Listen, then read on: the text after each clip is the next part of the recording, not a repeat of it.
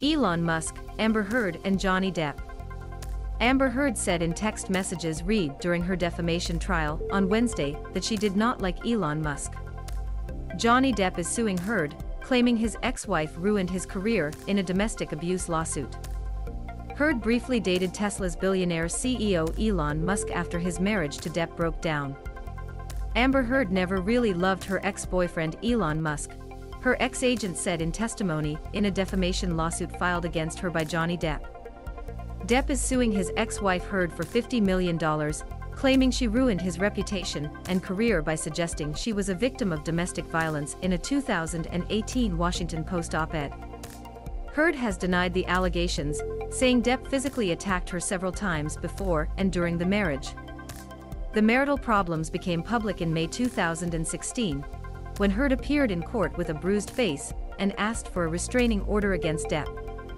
The couple's divorce was finalized in January 2017, when it was already rumored that Heard would continue working with Musk, the billionaire CEO of Tesla and SpaceX.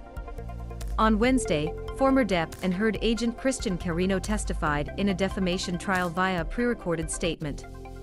In the video, Carino had a text exchange with Heard, who was a close friend of his, after he split with Musk in August 2017. Carino testified that Heard was immediately switched from Depp to Musk. You're not in love with him, you told me a thousand times you're just filling space, Carino told Heard as he complained about the breakup, which made the news. I know, but I want to have time to grieve and recover in my own time, Heard replied. Once again, another guy threw me on the nail alone, Heard added. They were mad at me for leaving me and posting something like that there. Carino responded, you can avoid this by not dating someone who is too famous. The story continues. The exact time Heard first started dating Musk is a bit opaque. The first report is from July 2016. Depp's legal team had suggested she cheated on him with Musk, and employees at the building where Depp and Heard once shared an apartment said the billionaire had visited Heard several times. Musk, who bought Twitter this week, is listed as a potential witness for Heard, but it is unclear whether he will be called to testify. About Insider